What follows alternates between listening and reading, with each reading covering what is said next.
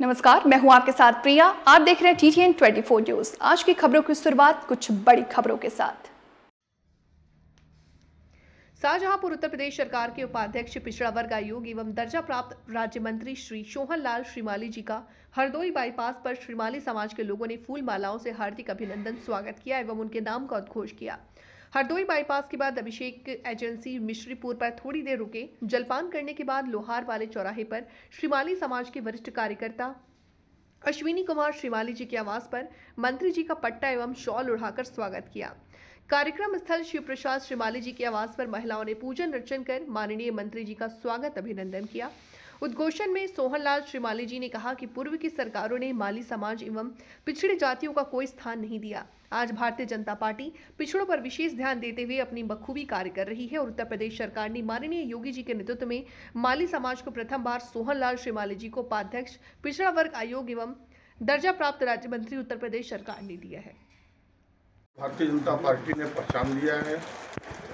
फूल माली समाज माली समाज के विकास के लिए भारतीय जनता पार्टी की सरकार और संगठन से हम सब लोग मांग करेंगे कि आगे चल कर के फूल माली सैनी समाज के विकास के लिए जो भी कार्य किए जा सकते हैं उसको प्राथमिकता के आधार पर करें।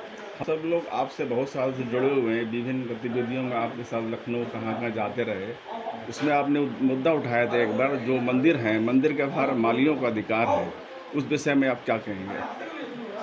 विशेष रूप से माँ शीतला के धाम में माली समाज के लोगों का रहता है वर्चस्व पर कई जगहों पर देखा जाता है कि अन्य समाज के लोग भी वहाँ मंदिर में दर्शन पूजन कराते हैं।